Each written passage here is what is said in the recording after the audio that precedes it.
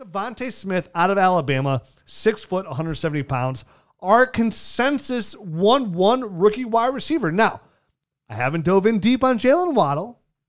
So maybe Saying there's a chance. I haven't I haven't gone in uh, deep into this the film study on him either. So I have. I he won't be my wide okay, receiver. so the biggest, but from my quick review, I don't think he'll be my number one either. well, probably not mine either. But I'm just, I'm saying, But you I ha- I'm never not know. there. You I'm never not know. saying Saying not there's a chance. You never saying there's a chance. He's top four. Um, DeVonta Smith. You're gonna hear a lot of people knock him because oh he's six foot, 175 pounds. A lot of people are gonna be hard up on 175 pounds, and I'm saying, hey, hey, hey, relax, buddy. Relax, he's only 170 pounds. Yeah, he's only 170 pounds. Okay, maybe we'll have a burger on Turkey Day. Maybe he plays on Thanksgiving. He plays him a little heavy, but you know, there's guys like. A good comp for him is a guy like Marvin Harrison, right? Yep. You see, you saw Chad Johnson, Chad Ochocinco come out and say, "Hey, I played 170 pounds." Like, sure, Chad, you probably played it more like 185, 190, but that's fine.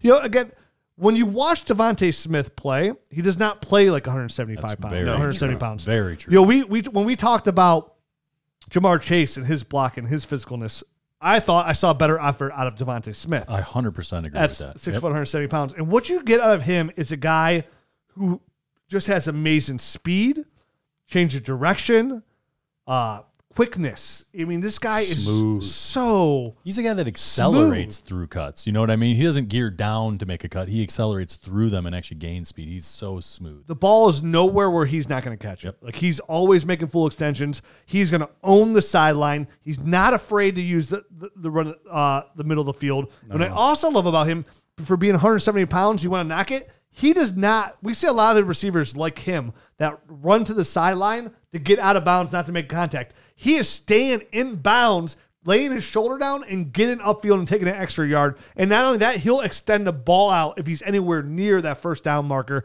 I mean, this guy can make plays at all three levels of the field. I love his route running. I love his hands. I love his smoothness. Like you said, he's silky smooth. His ball point skills are just unbelievable.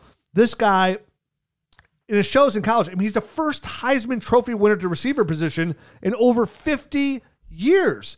That is insane that you don't have a receiver, a skill position player that win the Heisman. He came in and he just dominated Alabama. And yes, he's not going to have the breakout age you want. He's not going to have years and years of production, but that's fine. This is a guy who played at a high level and dominated week in and week out at the SEC. See, this is the tough part because I understand that he didn't have, you know, amazing numbers as a true freshman, but he caught the game-winning touchdown in the national championship game as a true freshman. Like, Yeah. okay, I, I feel like that makes up for, yeah, maybe he didn't have, you know, the extra 200 yards you wanted from him or whatever, but He's like, had a bunch of super talented wide receivers ahead of been him a lot that are really all great- like littered in the NFL right now. I mean, like, give the guy a break.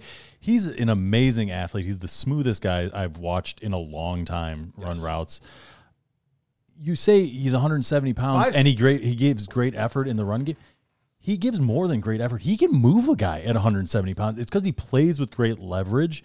He understands leverage in his routes as well. he does. Um, so he, and that's a, that's another reason why he's not a guy that just goes out of bounds. He knows how to even even you know approaching a defender with the ball in his hands. He knows how to get him off balance a little bit in, in order to not take a big shot from these guys.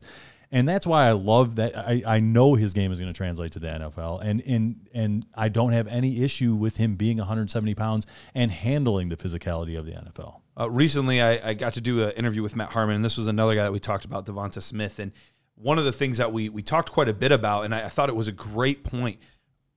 You would think that okay, he's 170 pounds. I'm concerned about press coverage. No, Nope.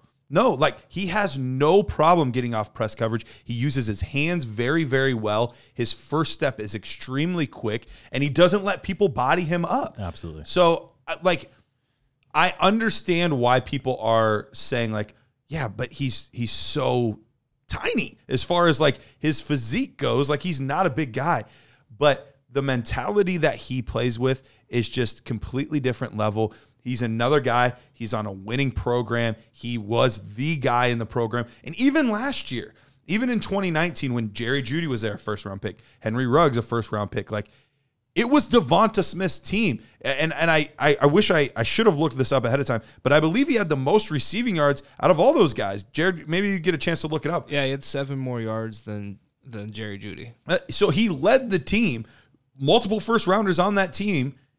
He led all of them in receiving yards in his junior campaign. I was shocked he didn't come out then. It, it doesn't surprise me because I didn't I didn't watch film last year on on DeVonta Smith Sure. at all, but I was concerned about some things in, in Jerry Jeudy's game, and it was it was the dog. I, I questioned how much dog he had, and I have none of those questions with DeVonta Smith. It's it's completely the opposite story um, as far as I, I don't have any issues with with any f- part of the physical game with him, and he's only 170 pounds. So uh, it's a it's a big time it's a big time.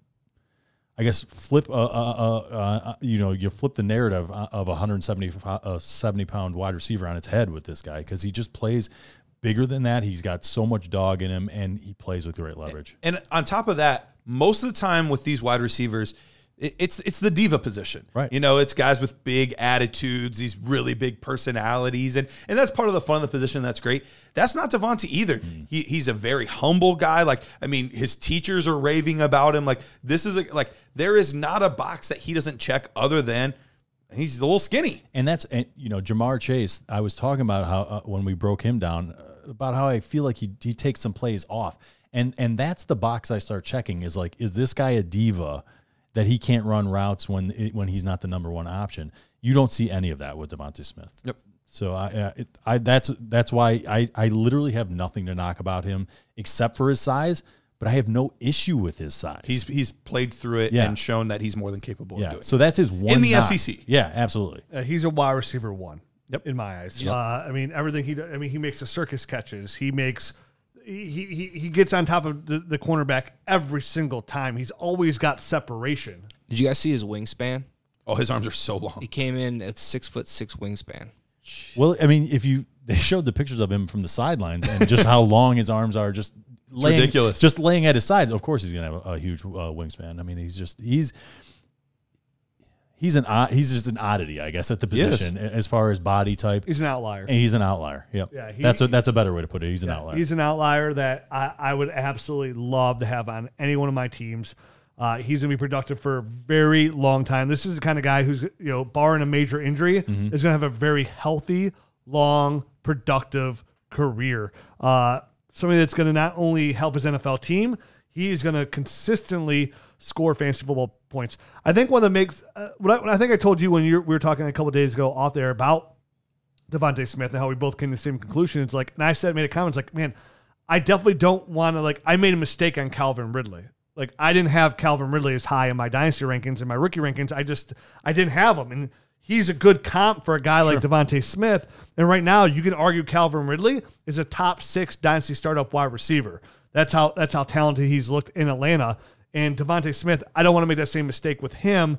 And I think DeVonta Smith could be better I than do. Calvin I Ridley. actually do too. For I- sure. So I think you can use him in different ways. yeah, so I'm ignoring the size. I know other people want that size as a factor, but for me, wh- when I said I would take Kyle Pitts ahead of him, it's because I think Kyle Pitts is that much of a game changer. But I have no problem. Like if I had George Kittle and Hockenson, I'd for sure take DeVonta Smith. You Even know what I mean? even last year, CeeDee Lamb was actually teetering on the borderline of that like BMI mark, you know. Like there's a lot of these receivers that don't necessarily always have as much weight. And we're also taking away the option for him to get bigger. Like he could always get a little bit bigger. Maybe he won't. I don't know. But he but it's not inconceivable that he could add 10 to 15 pounds at the NFL level. He doesn't strike me as a guy that needs to. I don't think he um, does either. So if if you know if he if he does naturally, I feel like that's Yeah. okay. I don't think he needs to go out of his way, bulk up, slow down, tighten up, or anything like that because he doesn't need to go DK. He's he too doesn't- fluid yeah, for that. I mean, he's already just too fluid. I mean, the guy gets in and out of his breaks with ease, doesn't change any direction, will catch everything thrown his way, owns the sideline, will go out to make a contested catch, will will stay in bounds, will lower the shoulder, will play over the middle. I mean, he literally does everything you absolutely want out of a receiver. There's nothing he can't do.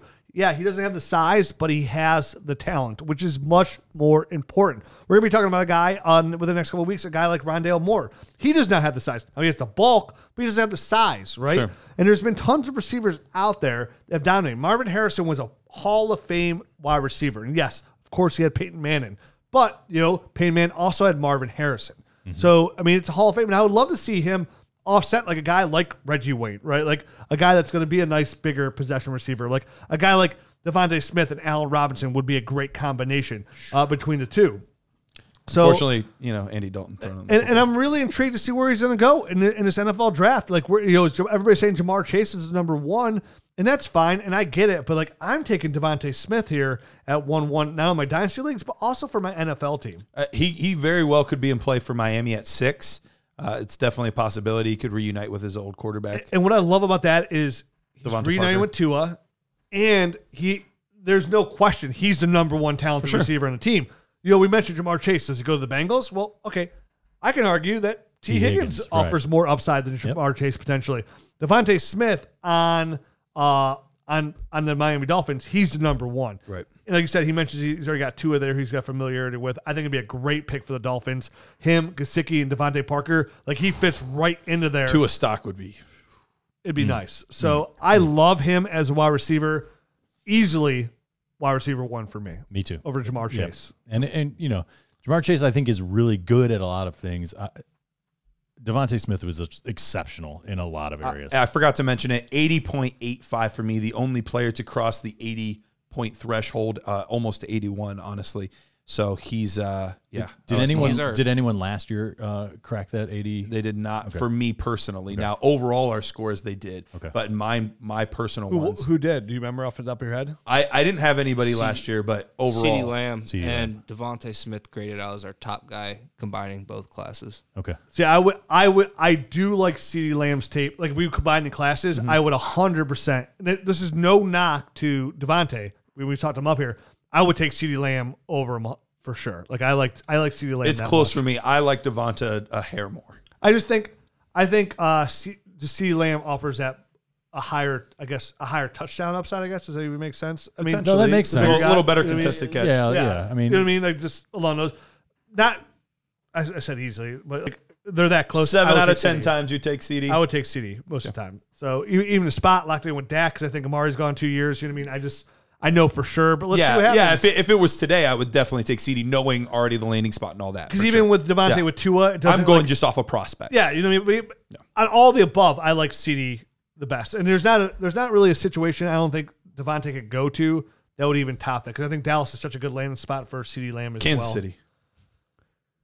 Yeah, I guess yeah, that'd be a good spot for him. I guess. Well, It that- there's no okay. there's there's no way that but that's going to there's happen. so many balls to go around there. Uh, you know what I mean? But even if like a team like Atlanta took a guy like so many DeVonta balls Smith, to go around. so many balls, all about, the balls. About what? About 106? Is that the guy? So maybe 108. You know, to go around. Well, plus you know they take you know all the CeeDee. footballs as well. Fifty- CeeDee was our second graded wide receiver, combining classes. Oh yeah. Yeah. Okay, so that makes sense. Two high end guys. Look how that panned out.